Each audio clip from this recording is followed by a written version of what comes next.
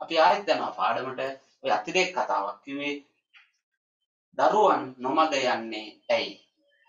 ඊට පස්සේ අන්තිමේට අපි යනවා කෙසේද කියන එක. ඔබ මාහා ඔබ මාහා හමුවන්නේ කෙසේද? ඔබ මාහා හමුවන්නේ කෙසේද? කෙසේද කියන හොඳයි. ඔන්න දැන් ඒකත් හරි. ඇයි කෙසේද කවදාද ආපුවම මුලින් අනුක්තයි. හැබැයි ද ප්‍රශ්නාර්ථයෙන් ආපුවම මුලින් උක්තයි. හරි. පැහැදිලි. අපි යනවා දැන් ඊළඟ එකට.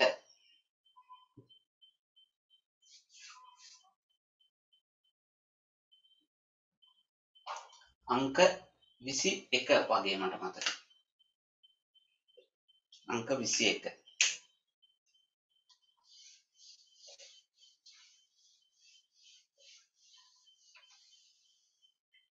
වාක්‍යයක අවසානයේ ඇත හෝ නැත. වාක්‍යයක අවසානයේ ඇත හෝ නැත.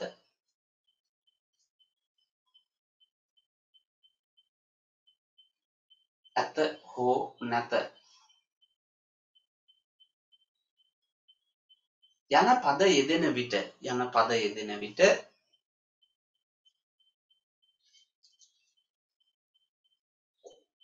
යන පද යෙදෙන විට මුලින්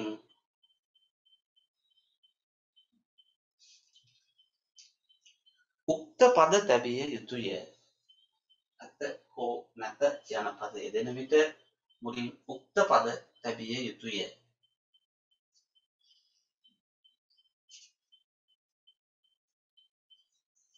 මේ රීතිය හරියට හොඳට තේරුම් ගන්න ඕන පොඩියා මේ ගොඩක් අය වරද්දන රීතියක් විභාගෙදී වුණත් වරද්දන රීතියක්.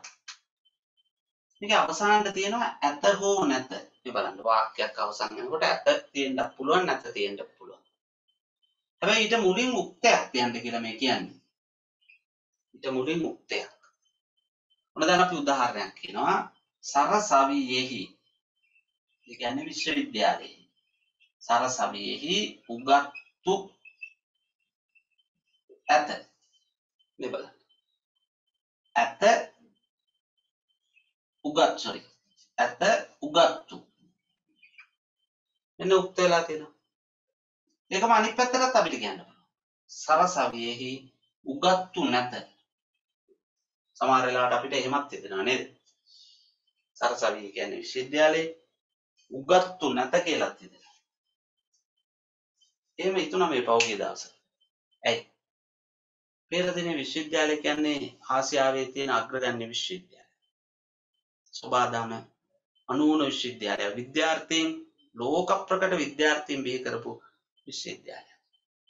දැන් ඉන්න ආචාර්ය මහාචාර්යවරු සහ කුලපති උපකුලපති ආදී ගන්න සමහර තීන්දුව වලින් උගත්තු නෙවෙයිද කියලා හිතනවා. විශ්වවිද්‍යාලේ විවෘත කළා දැක්ක නේද පොඩි අහලා ගිය සති. ගිය සතියේ ওই ඊට කලින් දවස් සෙනසුරාදා දවසක විශ්වවිද්‍යාලය විවෘත කළා. විශ්වවිද්‍යාලයේ ටොන් ගණනක් කුණු විතරක් අදින්න වුණා දවස් පහුදාට. පාරවල් පුරාවට පොඩු පොඩු දාලා ඒක අපේ මිනිස්සුන්ගේ වැරද්දක්. ඒක එහෙමයි. හැබැයි මිනිස්සුන්ගේ වැරද්දක් වගේම උගත්තුන්ගේ වැරද්දක් වුණා එතන. ඒ වගේ පියවරවල් ගන්නෙ. සීමා රහිත මිනිස්සු දහස් ගන්නෙක් මුළු පාරවල් ඔක්කොම වහගෙන ට්‍රැෆික් එක පුරවාගෙන ගිහිල්ලා විශ්වවිද්‍යාලේ ගස්වල තියෙන වැල්වල එල්ලි එල්ලි පිනුම් ගගා අරද කරන්න පුළුවන් ඔක්කොම අර විශ්වවිද්‍යාල පරිසරයට කරන්න තියෙන හානි ඔක්කොම කරලා එළියට ආවා. තීන්දුව తీරන ගන්න අය පොඩ්ඩක් ඒවා කලින් හිතන්න තිබ්බ ඒ උගත්තු නම් විශ්වවිද්‍යාලය විවෘත කරන්න ඕනද මහ ජනතාවට? නැත්තම් විශ්වවිද්‍යාලයේ තියෙන්නේ රිසර්ච් කරන්න, පර්යේෂණ කරන්න. ඒ උගත්තු ඒව නොකර මෙන්න කරන පර්යේෂණ. මහ ජනතාවට විවෘත කරන ඒවා තමයි ඒගොල්ලෝ ලකුණු දාගන්නේ. ඒගොල්ලන්ට තියෙන්නේ ලක්ෂ ගණනෙන් පඩි ගන්නකොට රිසර්ච් කරන්න, පර්යේෂණ කරන්න තියෙන්නේ. ඒවා නොකර මෙව වගේ සමාජයේ ඉස්සරහා කැපී පෙනෙන්න උත්සාහ කරන. ඉතින් ඒව ඇවිල්ලා අර උගත්තු නැද්ද කියලා හිතන වර්ගයේ ප්‍රශ්න. ඒ නිසා හැම වෙලාවකම හොඳට කල්පනා කරලා එබඳු තීන්දුව ගත යුතුයි. හොඳයි අපි යනවා ප්‍රශ්නෙට. සරසවියෙහි උගත්තු ඇත. තව එකක් අපි ගමු බලන්න. වාක්‍යයක්. පන්තියේ දක්ෂයෝ ඇත. ආම් බලන්න. පන්තියේ දක්ෂයෝ ඇත. පන්තියේ දක්ෂයෝ ඇත. මේ ඇත තියෙනවා දක්ෂයෝ. බලන්න කොච්චර පිළිවෙලෙන් කියලා. ඕනනම් ඔක අනිත් පැත්තට දාන්නත් පුළුවන්. දක්ෂයෝ නැත කියලා. දෙකම පුළුවන්. පන්තියේ දක්ෂයෝ නැත. පැහැදිලිනේ? හරි. ඇත හෝ නැත ආවොත් දැන් අපි දන්නවා මුලින් මුක්ත පද තිබ්බේ මේ තියෙන්නේ කොමුක්ත පද. පැහැදිලි පිළිවෙලයි. තේරුම් නැත්නම් අහන්න පුළුවන්. ඔන්න ඒ රීතියත් අවසන් කරන්න. ඒ රීතියත් අවසන්. දැන් කියන්න යන්නේ ඒකේම තව කෑල්ලක්. මේක තමයි විභාගේ තියෙන කෑල්ල. ඒක අමාරු කෑල්ල. මේක අමාරු කෑල්ල. මේක තමයි අමාරු තැන. තියෙනවනේ නේද විවිධ කෑලි. ලේසි කෑලි තියෙනවා, අමාරු කෑලි තියෙනවා. මෙන්න අමාරු කෑල්ල. මේක ඇවිල්ලා අමාරු කෑල්ල. මොකක්ද අමාරු කෑල්ල? වාක්‍යයක අවසානයේ ඇත හෝ නැත තියෙනවා. ඊට මුලින් පූර්ව ක්‍රියාපදයක් හෝ පූර්ව ක්‍රියාපදයක් හෝ වර්තමාන කාල කෘදන්ත පදයක් තියෙනවා නම් කෘදන්ත පදයක් තියෙනවා නම් මුලින් අනුක්තයි මුලින් අනුක්තයි අන්න රීතිය ආයි බලන්න එක් කියනවන්න ටිකක් අමාරු එකක්. ගොඩක් කට්ටිය පටලවා ගන්න මේ බලන්න වාක්‍යයක අවසානයේ ඇත කියලා හෝ නැත කියලා හෝ තියෙනවා ඊට මුලින් පූර්ව ක්‍රියාපදයක්. ඒ කියන්නේ මෙයාලා දෙන්නට මුලින් පූර්ව ක්‍රියාපදයක් හෝ මෙතන වර්තමාන කාල කෘදන්ත පදයක් හෝ තියෙනවා නම් මුලින් අනුක්තයක් තියන්න ඕනේ. ඒකයි මේ රීතිය. මුලින් අනුක්තයක් තියන්න. පැහැදිලි වුණාද? ඇත හෝ නැත කියලා වර්තමාන කාල කෘදන්තයක් තියෙනවා නම් පූර්ව ක්‍රියාවක් තියෙනවා නම් අන්න මුලින් අනුක්තය. මේ බලන්න ඔන්න මං කියන්නේ. පන්තියට දක්ෂයින් පැමිණ ඇත. නැත්තම් නැත. මේ බලන්න. ඇත හෝ නැත තියෙනවා. ඇත හෝ නැත දෙකෙන් එකයි ඈ. දෙකම තියෙන්න බෑ. ඇත හෝ නැත තියෙනවා. ඊට මුලින් පූර්ව ක්‍රියාවක් තියෙනවා මේ බලන්න. ඒ නිසා මෙතන අනුක්තයක් කළා මෙහෙම. right. ලියාගන්න බලන්න පන්තියට දක්ෂයින් පැමිණ ඇත. නැත්තම් නැත.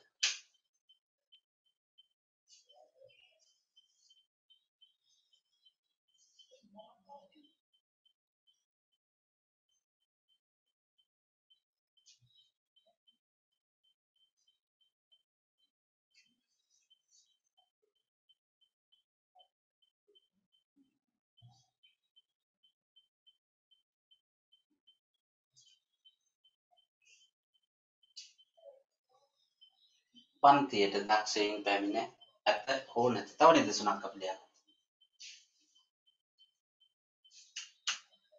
සිසුන් වේදිකාවට පැමිණ ඇත. නැත්තම් නැත. මෙන්න පැමිණ පූර්වක්‍රියාව මෙන්න සිසුන් අනුක්තය. සිසුන් වේදිකාවට පැමිණ ඇත.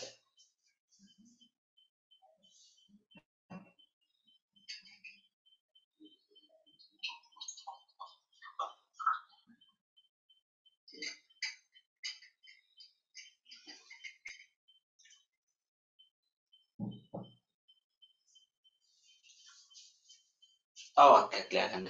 බුද්ධිමත් මිනිසුන් නිහඬ වී ඇත. බුද්ධිමත් මිනිසුන් නිහඬ වී ඇත.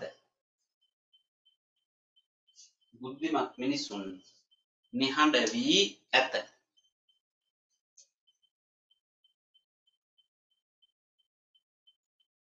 නිහඬ වී ඇත. නිහඬ වී නැත කියලා කියන්නත් පුළුවන්. බුද්ධිමත් මිනිසුන් නිහඬ වී ඇත.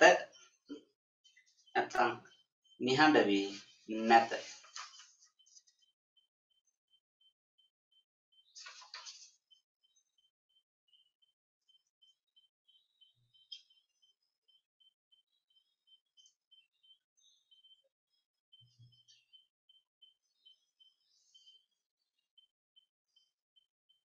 හොඳයි. ඔන්න දැන් ඒ රීතියත් අවසන් වෙනවා. මගේ මතකය නිවැරදි නම් වාක්‍ය රීති 22. දැන් ලියන්න ඕනන්නේ 22. නිවැරදිද? ලියහඳුලා තේරුණාද? ඈ 23ද? 22 සර් හොඳයි. තේරුණා නේද පාඩම අවුලක් නැහැ නේද? නෑ සර් වැඩිද? මේක වැඩි නැහනේ. නෑ නෑ නේද? හරි. හොඳයි. ඊළඟ රීතිය. මේකත් ටිකක් සංකීර්ණයි. හැබැයි මතක තියාගන්න තමයි තියෙන්නේ මේ රීතිය අර ගොඩාක් එකවර වැඩියෙන් වැටුනහම මතකේ තබා ගැනීම ටිකක් අමාරු වෙනවා. බලමු ඒ වුණාට ඉගෙන ගන්නත් එපයි නේද? ඈ මෙන්න අපි යනවා 23ට. මේක ඇවිල්ලා යුතුය මැනවි කියන එක. යුතුය මැනවි. වාක්‍ය අවසානයකට යුතුය කියලා හෝ මැනවි කියලා හෝ ආවොත් මුලින් අනුක්තයි කියන රීතිය තමයි මේ කියන්නේ. වාක්‍ය අවසානයේට යුතුය කියලා හරි මැනවි කියලා හරි ආවොත් මුලින් අනුක්තයි කියන එකයි මේ කියන්නේ. මෙයාලා දෙන්න ආවොත් මේ බලන්න. දරුවන් පාසල් යා යුතුය මේ යුතුය කියලා තියෙනවා දරුවන්. ලස්සනට තේරෙනවා අපිට. යුතුය කියලා හරි මැනවි කියලා හරි ආවා. දැන් ඕක මැනවි කියලා දාමුකෝ. දරුවන් පාසල් යාම මැනවි. දරුවන් පාසල් යාම මැනවි. හරිද? තව එකක්. දෙමාපියන් රැස්වීමට යා යුතුය. තව නිදසුනක්. දෙමාපියන් රැස්වීමට යා යුතුය. ඒක තව විදිහකින් කියන්න පුළුවන්. දෙමාපියන් රැස්වීමට යාම මැනවි. ඔක හොඳයි කියලා තෝරන්න තියන්නත් පුළුවන්. එකක් දාගමු අපි. යුතුය මැනවි හොඳයි යෙහෙකි එකත් හොඳයි. මේ පද ඕන එකක් තියෙනවා. යුතුය මැනවි හොඳයි යෙහෙකි. ඕන පදයක් තිබ්බ මුලින් අනුක්තයි. ඒක තමයි වැදගත් දේ. හොඳයි අපි ඒක ලියාගෙන 23 වාක්‍යක අවසානයේ වාක්‍යක අවසානයේ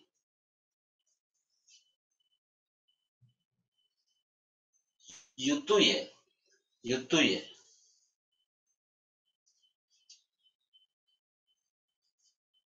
මැනවි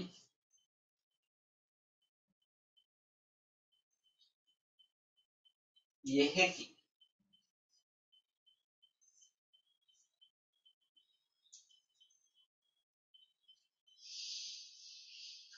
යුතුය මැනවි යෙහෙකි. හොඳයි. යන පද යෙදෙන විට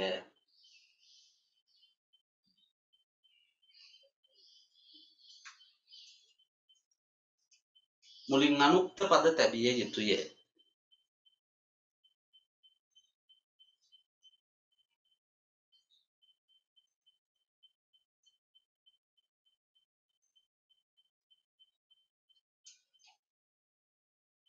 ඉඳසුන් ලියාගමු දරුවන් පාසල් යා යුතුය. දරුවන් පාසල් යා යුතුය.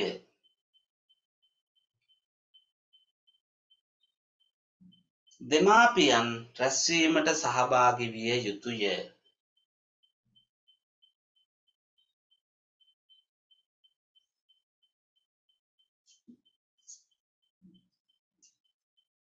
කම්කරුවන් කම්කරුවන් වැඩ වැරීම හොඳයි වැඩ වැරීම හොඳයි.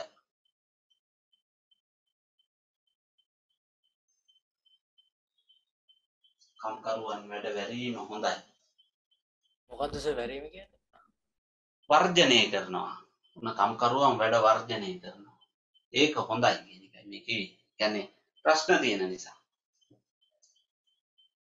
කම්කරුවන් වැඩ වැරීම හොඳයි.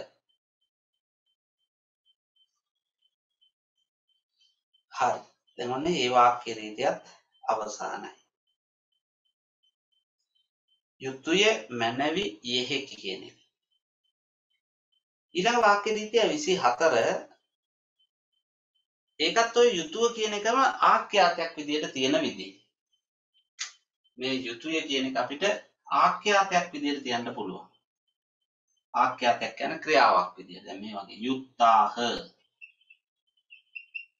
යුත්තාහ. යුත්තේමි. යුත්තාහ. යුත්තේමි. යුත්තෙමු. ඒ විදිහට තියන්න පුළුවන් හැබැයි මුලින් මුක්තයක් තියෙනවා. ඒක අපි ලියගමු. මෙහෙම යුතුය යන්න.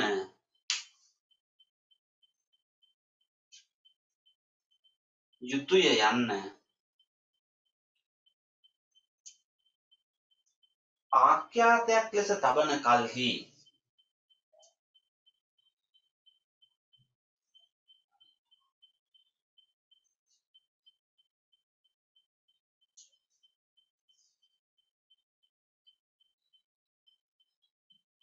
ආඛ්‍යාතයක් ලෙස තබන කල්හි ඊට අනුරූපව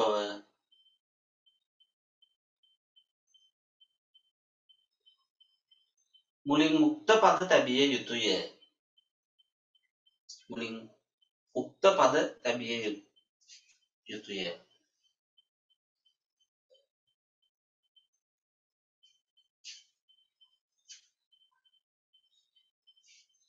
මෙන්න මේ වගේ නිදා නිදසුනක් තියෙනවා. මේක නිතර විභාගෙදී අහන එකක්. පයින් යන්නෝ දකුණු පසින් යා යුත්තෝය. මේ යුත්තෝය යන්නෝ. බහුවචනය මෙතන මේ උක්තයක් එතන තිබේ උඩින් නම් උක්ත යුතුය කියලා තිබ්බොත් අනුක්ත කරන්න කිව්වා. මේකෙදි කියනවා අපි මේ මේ විදිහට. පයින් යන්නෝ දකුණු පසින් යා යුත්තෝය. ඒකේ ආඛ්‍යාතයක් විදිහට තමයි මේක තිබ්බේ උක්තේ. මෙයා උක්තේ විදිහට තිබ්බ බහුවචනේ. අපිට පුළුවන්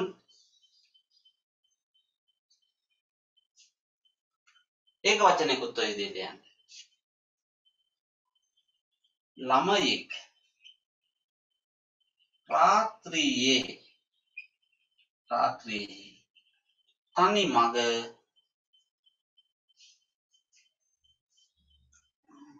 තනි මග නොයා යුත්තේය. යුත්තේය. ළමයෙක්. ළමයෙක් රාත්‍රියෙහි තනි මග නොයා යුත්තේය.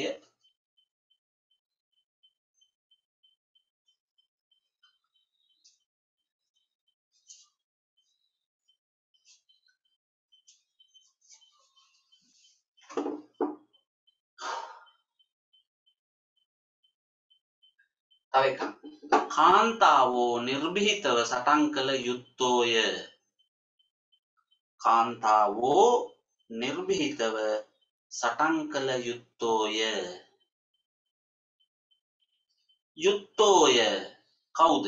කාන්තාවෝ. කාන්තාවෝ නිර්භීතව සටන් කළ යුත්තෝය.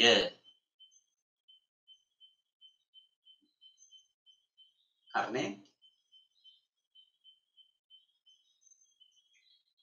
ඇයි මෙහෙම මේ වගේ වාක්‍යයක් කියවුණා කාන්තාවෝ නිර්භීතව සටන් කළ යුත්තෝය පොඩිහාරු දැන් ඉස්සර සමාජය වගේ නෙවෙයි ඉස්සර සමාජේ නම් හැමදාම පිරිමියා තමයි නායකයා වෙලා හිටියේ.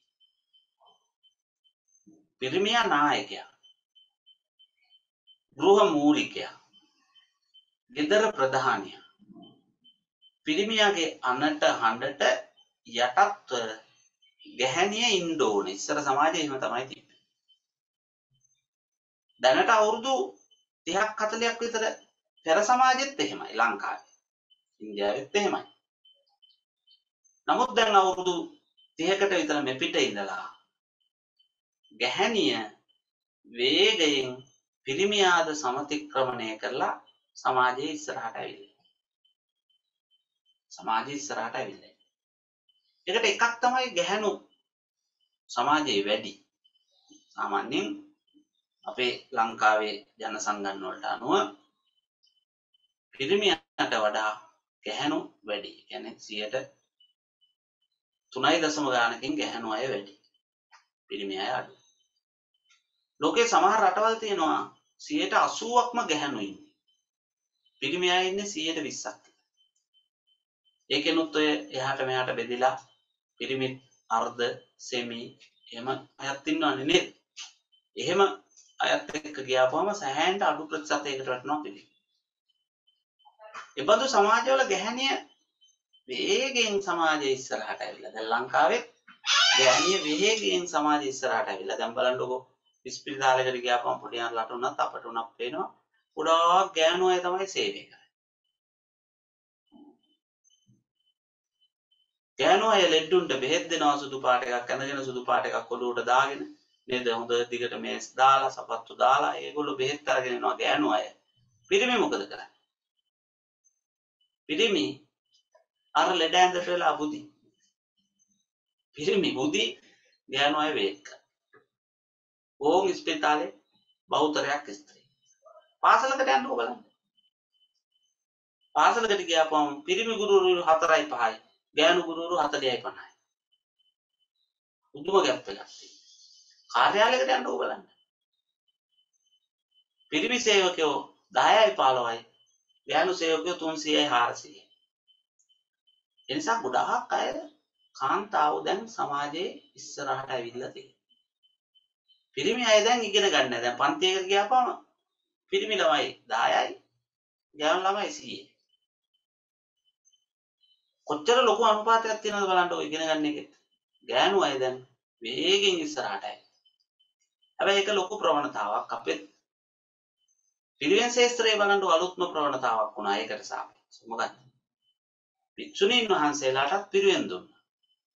දැන් භික්ෂුණීන් වහන්සේලා ඔඩියාරලා පරද්දලා දැන් සෑහෙන්න ලංකාවේ භික්ෂුණී පිරිවෙන් තියෙනවා. ආඳුරලා පරද්දලා දැන් ඉහළට එනවා දැන් අපිත් ඔය සෙමිනාර් වලට එහෙම ගත්තාම භික්ෂුණීන් වහන්සේලා ගොඩාක් ඉන්නේ. මෙනින් වහන්සේලා ගොඩාක් ඉන්නේ. ඒ මොකද දැන් වේගෙන් ඉස්සරහට ඒ අයත් එන බව පේනවා. පිරිමි අය එමීට එමීට එමීට පල්ලම් බහින ගතියක් තමයි. ඔය ක්‍රමේ ලෝකේ හැදෙන එකට කියනවා ස්ත්‍රීවාදය කියලා. ඒකට තව විදිහකින් කියනවා කාන්තාවාදය කියලා. ඉංග්‍රීසි භාෂාවෙන් ඔබට කිව්වේ ෆ්ලෙමිනිසම් කියලා. ස්ත්‍රිය ගැහැණිය සමාජයේ වේගෙන් තම අභිමතාර්ථ සහ නිදහස එවැගේම පාලනය සොයාගෙන ඉස්සරහට මතුවේ. දැන් ගෙදරක ගත්තත් එහෙම. ගෙදරත් වැඩිපුර බලය තියාගෙන ඉන්නේ ගැහැණිය. ස්ත්‍රී. පිරිමියාට ටිකක් ඔය බලය තියෙනවා. ඉතින් අපි ඉතින් ওই දරුවෝ 30ත් එහෙම පාස් වුණාම ඉතින් ඔළුව අත ගාලා කියනවා. ඉතින් මගේ පුතානේ ඉතින් අප්පච්චි වගේම තමයි කියලා. හැබැයි ඉතින් ෆේල් වුණොත් නම් ඒක අනිත් පැත්ත ගන්න. ඔයද ඉතින් අම්මගෙම මොලේ ගිහිල්ලානේ කියලා අනිත් පැත්තට ගන්න. ඒ නිසා කාන්තාවෝ නිතරම සමාජයේ ඉස්සරහට ආ යුතුය කියලා හොඳ ලස්සන වාක්‍යයක් අපි ගත්තා. හොඳ ලස්සන විස්තරයකුත් මම ඒකට දුන්නා. හොඳ වාක්‍ය වින්‍යාස රීතියකුත් අපි හරහා ඉගෙන ගත්තා. දැන් එතකොට අපි දැන් ආඛ්‍යාතයක් විදිහට යුතුය යන පදයේ ගැළපීම තමයි ওই විදිහට කරේ. ඊළඟ වාක්‍ය රීතිය අංක 25 වගේ මට මතක හැටියට. 25 විතර.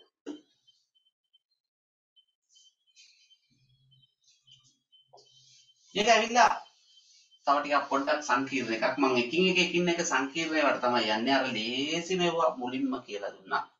ලේසි මෙවුවා තමයි කිව්වේ ප්‍රාණවාචී නාම පද අප්‍රාණවාචී නාම පද තෙමේ තොමෝ තුමෝ ලේසි ඒවා.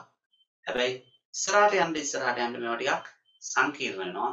දැන් ටිකක් බොහොම ටිකක් අමාරු ඒවා ඉන්නේ හැබැයි මේවා හරියට අල්ලාගත්තොත් ආයෙ වර්ධින්නේ මම ඒකයි කියන්නේ නිතර නිතර මේ පන්තියේ මේ වැඩසටහන යලි යලි නරබලා නරබලා මතකෙට ගන්න ගැටලුවක් තියෙනවා නම් ඕන එකක් අහන්න. ඕන ප්‍රශ්නයක් අහන්න මං ගිය සතියේ මට මතක හැටියට ටෙලිෆෝන් අංකෙත් දුන්නා. සමහර පොඩි අහවල කතාත් කරා. වාක්‍යයක ප්‍රශ්නයක් තිබ්බත් ලියන විදිහේ ප්‍රශ්නයක් තිබ්බත් කතා කරන්න. හොඳයි. අපි යනවා අංක 25ට. මේක ඇවිල්ලා දෙන දෙනා දෙනෙක් හරිද යන පද යෙදෙනකොට ආඛ්‍යාතයේ බහුවචනෙන් කියන්නේ දෙන දෙනා දෙනෙක්. යන පද යෙදෙනකොට ආඛ්‍යාතයේ බහුවචනෙන් කියන්නේ ඒ රීතියයි මේකෙන් හොඳයි ලියාගන්න. දෙන දෙනා දෙනෙක්. දෙන දෙනා දෙනෙක්.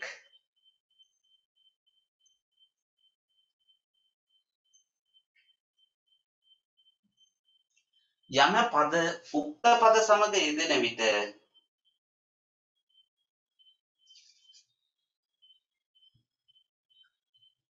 ආඛ්‍යාත පදේ බහුවචන විය යුතුය.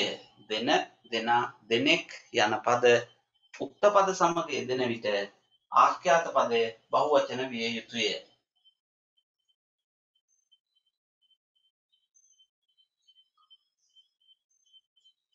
මෙන්න නිදසුනක්. දෙමාපියෝ බොහෝ දෙනෙක් රැස්වීමට ආහ ඔන්න නිදසුනක් දෙමාපියෝ බොහෝ දෙනෙක් රැස්වීමට ආහ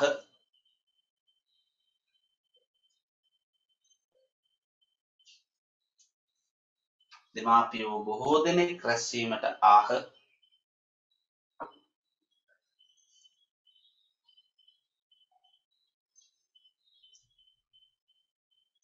කාන්තාවෝ කිහිප දෙනෙක් තරඟයෙන් ඉවත් වූහ. කාන්තාවෝ කිහිප දෙනෙක් තරඟයෙන් ඉවත් වූහ.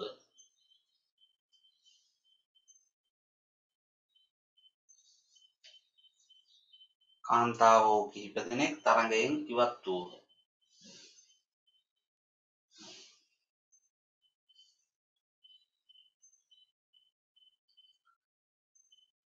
ළමයි හැමදෙනම පන්ති කාමරය පිරිසිදු කරති. ළමයි හැමදෙනම පන්ති කාමරය පිරිසිදු කරති.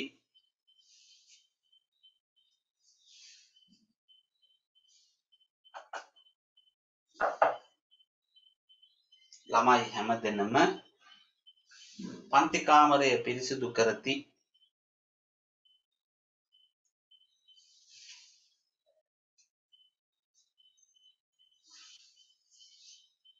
හරි.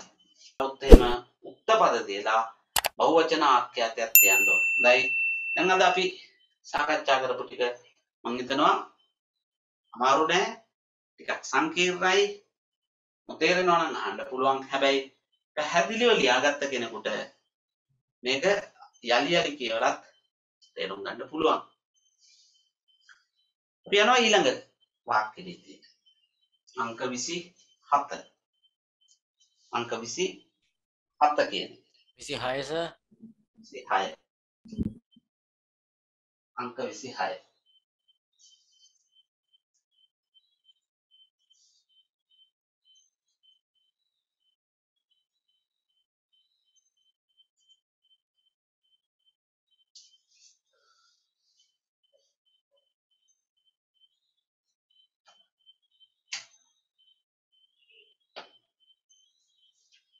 අංකය 26.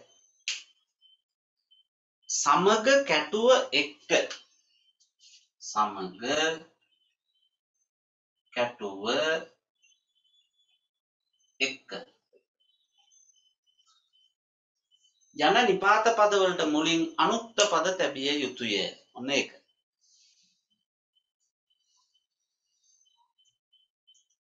සමග කැටුව එක්ක නිපාත පදවලට මුලින් අනුක්ත පද තැබිය යුතුය.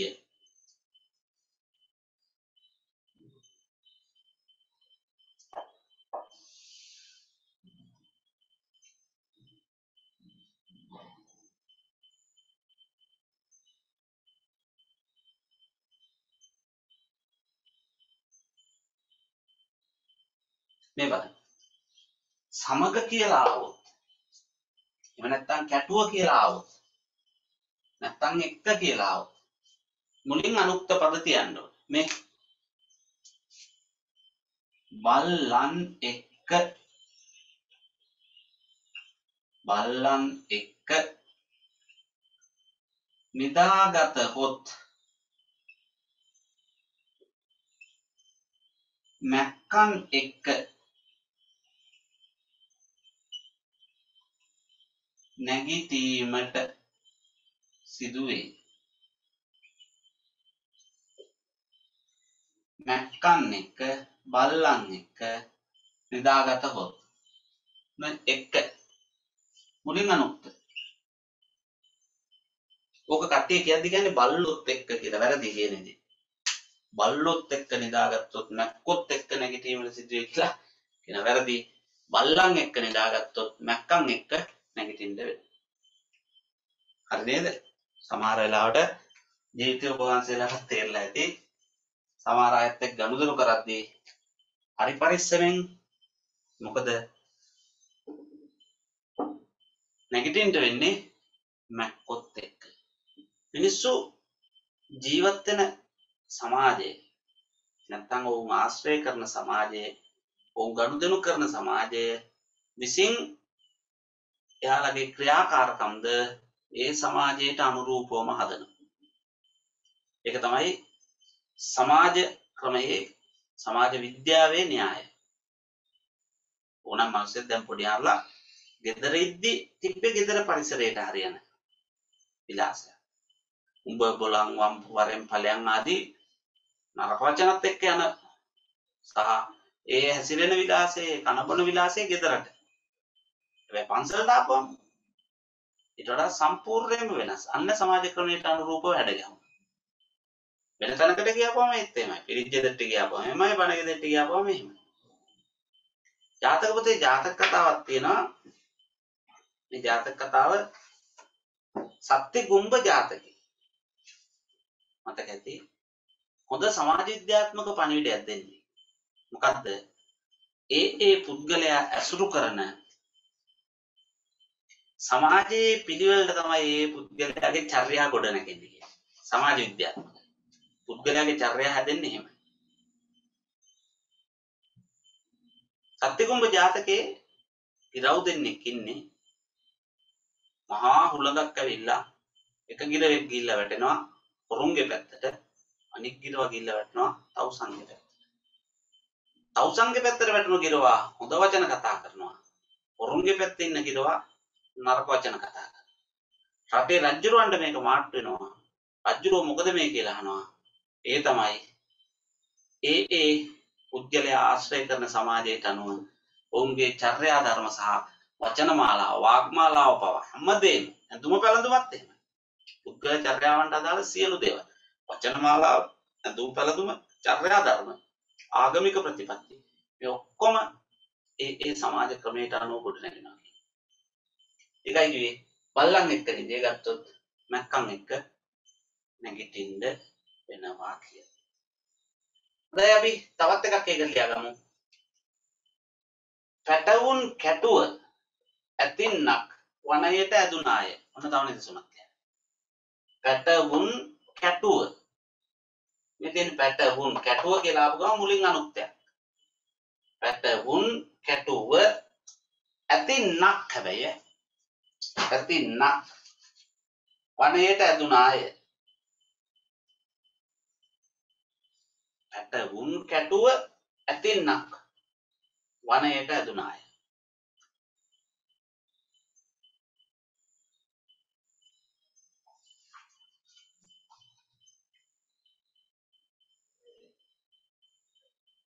ඇය සමග ඔහු පලා ගියේය.